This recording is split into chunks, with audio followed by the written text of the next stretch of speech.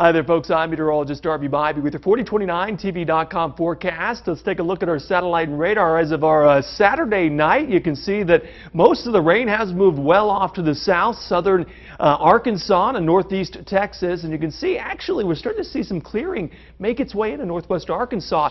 As we clear the skies tonight, that's going to allow fog to develop. So could have some low visibilities early on our Sunday morning and temperatures dropping. Take a look at the cool air behind the cold front that moved through uh, last night. Temperatures in the mid 60s on our Saturday evening in northwest Arkansas. Mid 70s in the River Valley, but we are going to cool off, I think, into the 50s and 60s by early on Sunday morning. So take a look at our in-house model. You can see once again uh, clear skies well above the surface, but at the surface, patchy areas of fog, I think, developing in northwest Arkansas. In the River Valley, we're looking at about a 20 to 30 percent chance of isolated showers on Sunday. Otherwise, a dry, beautiful Sunday across most of the area. Tonight, Saturday night into Sunday morning, uh, again, the fog, that's our main concern early on Sunday morning, late Saturday night into early Sunday morning. Temperatures in northwest Arkansas in the mid 50s, mid 60s for us in the River Valley, and high temperatures on Sunday.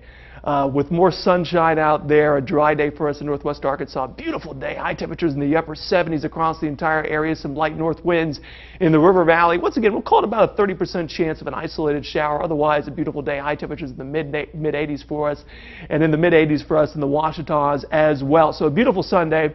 As we go into Monday, temperatures are going to heat back up, but we have gotten even bigger cool down in the forecast, the seven-day forecast.